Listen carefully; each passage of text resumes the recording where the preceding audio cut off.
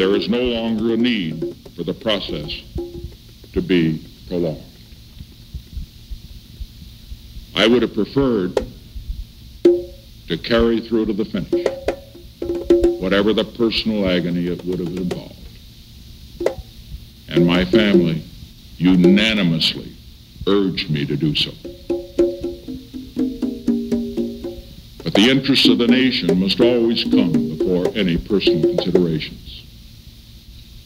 From the discussions I have had with congressional and other leaders, I have concluded that because of the Watergate matter, I might not have the support of the Congress that I would consider necessary to back the very difficult decisions and carry out the duties of this office in the way the interests of the nation will require. I have never been a quitter. To leave office before my term is completed is abhorrent to every instinct in my body.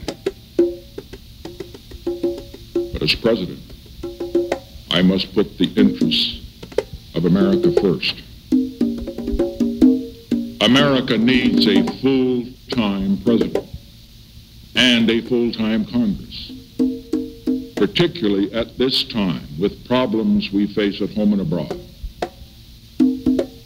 Continue to fight through the months ahead for my personal vindication would almost totally absorb the time and attention of both the President and the Congress in a period when our entire focus should be on the great issues of peace abroad and prosperity without inflation at home.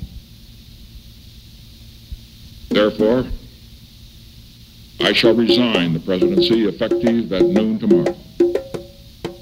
Vice President Ford will be sworn in as president at that hour in this office.